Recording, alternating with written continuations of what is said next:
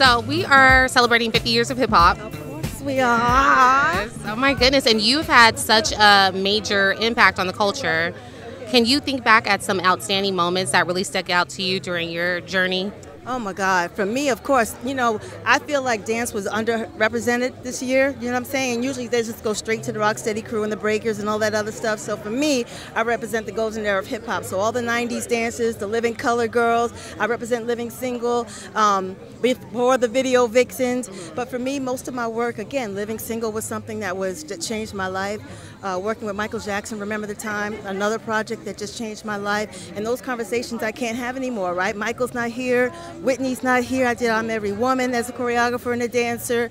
Um, Heavy D's not here. John Singleton's not here. So, so many people who really did like hardcore creative stuff are not here to have those conversations with. So I'm glad that I was part of the culture and I can kind of continue it. So I'm working on a dance documentary so I can kind of share our stories behind the scenes and tell what it was like to work with Michael and Whitney and Janet and John and all these people. Give us a tease though. What was it like working with, let's say, Michael and Whitney? Well, listen, Michael was a dream because first of all they gave us like paperwork like this it looked like an encyclopedia don't talk to him don't look at him all this stuff oh, there were rules oh there was definitely rules of engagement because you know everybody was breathing down mm-hmm. his neck yeah. but um, you know most artists always kind of gravitate towards the dancers and mm-hmm. so he was really all about hanging with us and he was cursing in front of us and we were in the corner making moves so it turned out to be like the dopest experience ever and unfortunately you guys found out too late that whitney is like the around the way girl right like she's the ultimate home girl you know double judge popping gum, talking smack at the hair salon. And so having danced for Bobby,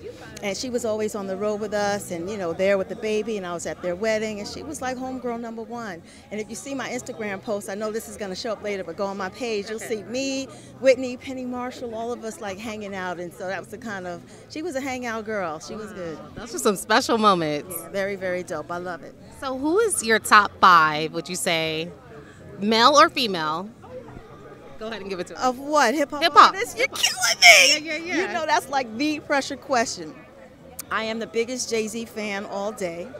Um, I love MC Lyte. Okay. Uh, I definitely love now Lola Brooke. I'm all over her. I do love how Coi Leray is kind of flowing because mm-hmm. she's giving me like rock star, pop star status. Okay. Um, but keeping it old school, EPMD. Okay. Love them all day. Nas is my guy because we're queens all day in the building. so you know, I don't know what order because then tomorrow it'll change and it'll be like Biggie and then Pac and then you know Mobb Deep. So my brain is all over the place. No, I love that you gave us new school and old school. Well, I had to. Yeah. I'm not turning my nose up at the new school. Mm-hmm. You know, even if I need subtitles on some of the mumble rap or whatever the case is, yeah. I still get it, and I'm here for the beats and the funk and the vibe and all of that. So it's hip hop, and I love how it's evolving. I love that. Thank you.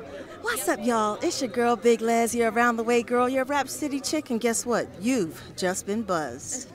Halftime spot. South yeah. Beach. now, I told you, he has been liking five quadrillion more videos than me. I thought I had the record down.